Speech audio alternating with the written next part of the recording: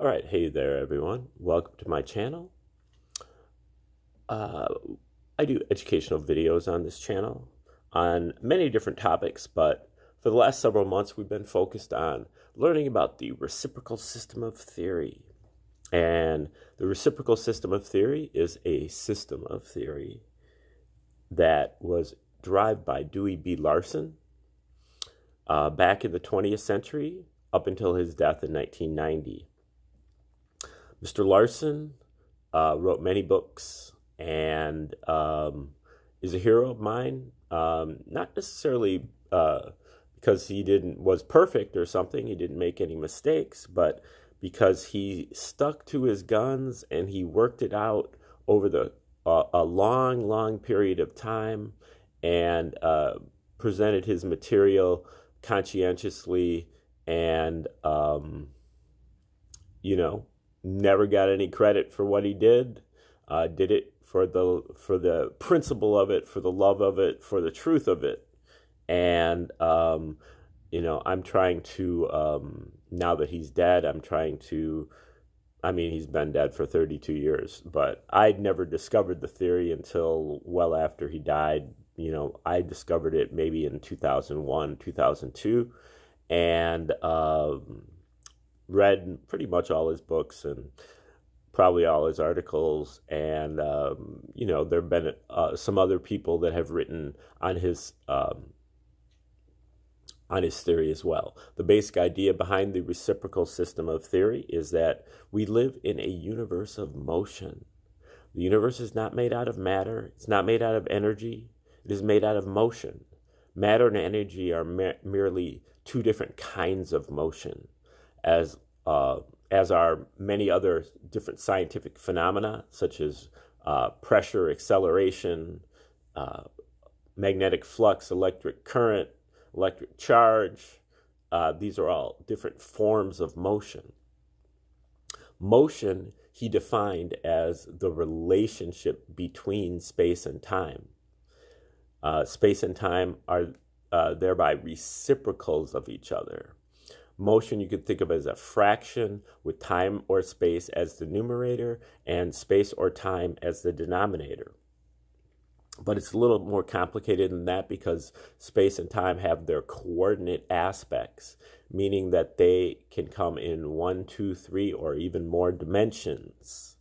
Uh, so when you have your numerator and your denominator, you can have, you know, time to the third power or space to the third power or you know, in the case of things like density, you have density is time to the third power over space to the uh, sixth power. Um, and, uh, you know, pressure is time, um, time over space to the fourth power. Uh, but you also have uh, time and space having their uh, clock aspects, which is the scalar motion a scalar motion is uh, really what Larson says that the mo- uh, universe is made out of motion with a magnitude but no direction. You can envision a scalar motion as a um, uh, using a balloon and a magic marker. You put a bunch of dots on the balloon, and if you blow up the balloon, all of the dots are moving away from each other. That is a scalar motion, a motion with a magnitude but no particular direction. You suck in the balloon, and then all of the dots are moving toward each other, but in no particular direction. That is an inward scalar motion. So the only direction that scalar motion has is in or out. And um, so time and space both have those uh, that clock aspect. It's flowing. It's always getting later and later in the case of time. And in the case of space, things are always getting farther and farther apart. Space and time also only come in discrete units, meaning that there is a minimum unit of time and a minimum unit of space. Inside of a one unit of space, you have only time. Inside of, and Larson calls that the time region. And inside of space, inside one unit of time, you have only space. Larson calls that the space region. Uh, if you have one unit of uh, space in one unit of time, you have the speed of light. the speed of light is basically the origin or the background of this universe. And there's an entire half of the universe that's moving faster than the speed of light. Uh, and an entire half of the universe moving slower than the speed of light. This is the only half that Einstein recognized when he said that the speed of light is the maximum speed of the universe. Uh, that was only referring to what Larson calls the material sector, the half that's moving faster than the, or slower than the speed of light. The half that's moving faster than the speed of light, Larson calls the cosmic sector. And in that sector, uh, that has more to do with things like life phenomena and mental phenomena. And, um, but it also comes into play in many other uh, applications of his theory. What I love about Larson's theory, one uh, is it it gives you agency. Uh, you don't always have to rely on the um, pointy-headed scientists with the white lab coats um, to tell you what you're supposed to think. You can figure it out for yourself. If you have the reciprocal system and a little bit of perseverance, you can figure some things out for yourself. Also, uh, I love how he is very consistent. Sometimes, if you just read one or two of his books, you're like, where is he getting this from? He seems like he's just kind of coming up with this out of no place. But then, if you read enough of his, his material, you see that he's applying things very, very consistently. And, um, you know, things apply in one region. Uh, one field, you know, in astronomy, and they also apply in the same way in atomic physics uh, and so on. Okay, now we are looking at his uh, 1979 book here that's called Nothing But Motion. Uh, primarily, it's on physics. Uh, here, we're about to start chapter 9, which is called Rotational Combinations. So when Larson has mo- when he says motion, he's really he refers to really four different kinds of motion. First, you have a translational motion, and then you also have a vibrational motion. And then you have a rotational motion. And then you have a rotational vibration. Okay, so those are really the four different kinds of different motions. And here in chapter nine, he's going to be focused on the rotational combinations. Uh, these will ultimately be uh, your subatomic particles and your uh, atoms. Um, okay, we're going to start uh, with Mr. Larson's words right here. One of the principal difficulties that is encountered in explaining the reciprocal system of theory, or portions portions thereof is a general tendency on the part of readers or listeners to assume that the author or speaker, whoever he may be, does not actually mean what he says. No previous major theory is purely theoretical. Everyone takes certain empirical information as a given element in the premises of the theory. The conventional theory of matter, for example, takes the existence of matter as a given. It then assumes that this matter is composed of elementary particles, which it attempts to identify with observed material particles. On the basis of this assumption, together with the empirical information introduced into the theory, it then attempts to explain the observed range of structural characteristics inasmuch as all previous theories of major scope have been constructed on this pattern, there is a general impression that physical theories must be so constructed, and it is therefore assumed that when reference is made to the fact that the reciprocal system utilizes no empirical data of any kind, this statement must have some meaning other than its literal significance. The theoretical development in the preceding chapter should dispose of this misapprehension so far as the qualitative aspect of the universe is concerned.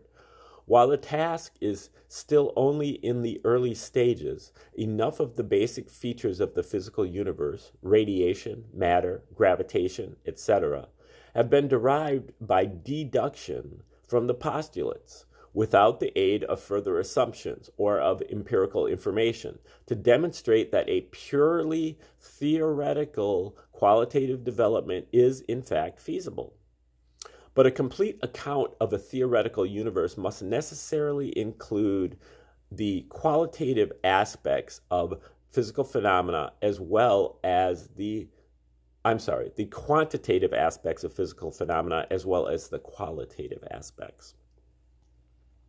Here is another place where the way in which the development of theory has taken place is mistakenly regarded as the way in which this development must take place.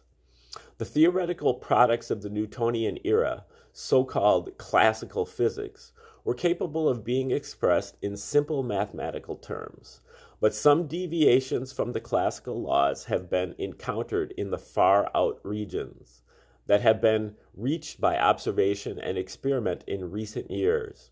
And the physicists have not been able to account for these deviations without employing extremely complex mathematical processes, together with conceptual artifices of a rather dubious character, such as Einstein's rubber yardstick or fudge factor.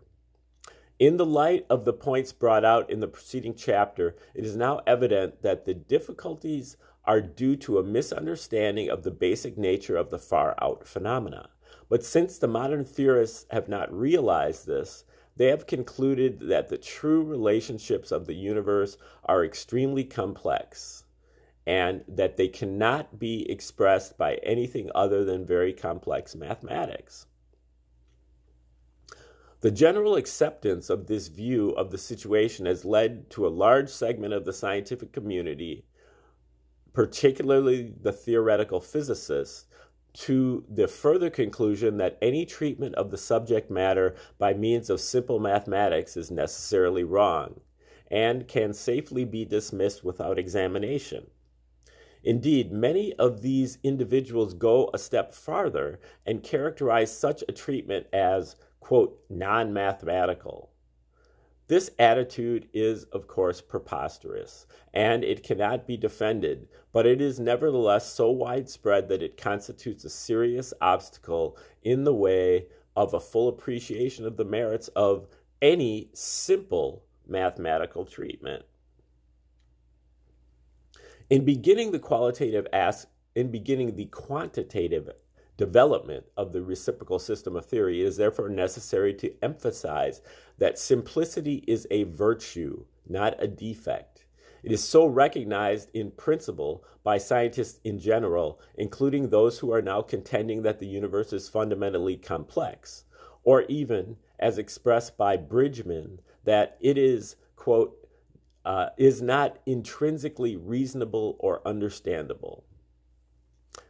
End quote. In its entirety, the universe is indeed complex, extremely so, but as the initial steps in the development of the reciprocal system in the preceding pages have already begun to demonstrate from a quali- qualitative standpoint, it is actually a complex aggregate of interrelated, simple elements.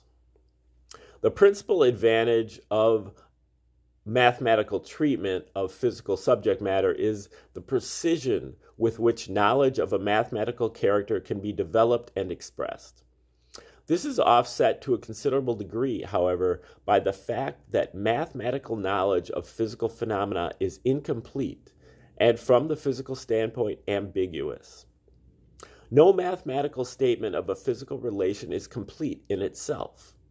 As Bridgman frequently pointed out, it must be accompanied by a text that tells us what the mathematics mean and how they are to be applied. There is no definite and fixed relation between this text and the mathematics. That is, every mathematical statement of a physical relation is capable of different interpretation. The importance of this point in the present connection lies in the fact that the reciprocal system makes relatively few changes in the mathematical aspects of current physical theory. The changes that it calls for are primarily conceptual. They require different interpretations of the mathematics, changes in the text, as Bridgman would say. Such changes, modifications of our ideas as to what the mathematics mean, obviously cannot be represented by alterations in the mathematical expressions. These expressions will have to stand as they are. Many readers of the first edition have asked that the new ideas be put in mathematical form. But what these individuals really mean is that they want the theory put into some different mathematical form. They are, in effect, demanding that we change the mathematics and leave the concepts alone. This we cannot do. The errors in current physical thought are primarily conceptual, not mathematical, and the corrections have to be made where the errors are, are not somewhere else. There is nothing extraordinary about the close relation between the mathematical aspects of the reciprocal system and those of current theory. The conventional mathematical relations were, for the most part, derived empirically, and any correct theory of a more general nature must necessarily arrive at these same mathematics. But there is no guarantee that the prevailing interpretation of these mathematical results is correct. On the contrary, as Jeans or Jeans pointed out in the statement previously quoted, the physical interpretations of correct mathematical formula have often been badly wrong. Correction of the errors that have been made in the interpretation of the mathematical expressions often has very significant consequences, not so much in the particular area to which such an expression is directly applicable, but in collateral areas. The interpretation is usually tailored to fit the immediate physical situation reasonably well, but if it is not correct, it becomes an impediment to progress in related areas. If it does not actually lead to erroneous conclusions, such as the limitation on speed that Einstein derived from a wrong interpretation of the mathematics of acceleration at high speeds, it at least misses all of the significant collateral implications of the true explanation. For example, the mathematical statement of the recession of the distant galaxies merely tells us that these galaxies are receding at speeds directly proportional to their distances. The currently popular interpretation of this mathematical relation assumes that the recession is an ordinary vectorial motion. The problem in accounting for it then becomes a matter of identifying or inventing a force of sufficient magnitude to produce the extremely high speeds of the most distant objects. The accepted hypothesis is that they were produced by a gigantic explosion of the entire contents of the universe at some unique stage of history.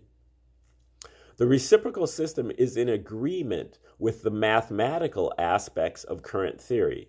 It arrives theoretically at the conclusion that the distant galaxies must recede at speeds proportional to their respective distances, the same conclusion that present day astronomy derives empirically.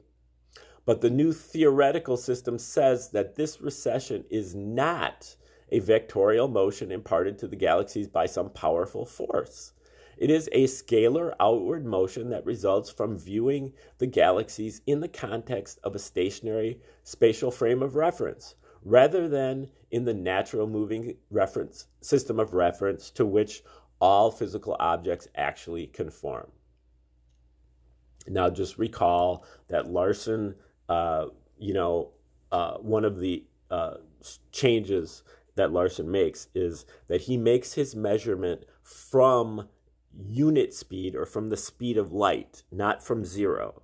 So, you know, if you make a normal measurement that, um, you know, the bicycle is moving 20 miles an hour, uh, that's 20 miles an hour from zero. But Larson, when he uh, makes his measurements, he makes them from what he calls the uh, progression of the natural reference system. And this progression of the natural reference system is outward at the speed of light in all directions. So, um, you know, when you're measuring a motion, you're measuring from that reference point, not from a stationary reference point, but from a moving reference point that's moving outward in the speed at the speed of light in all directions. So far as the recession phenomena is concerned,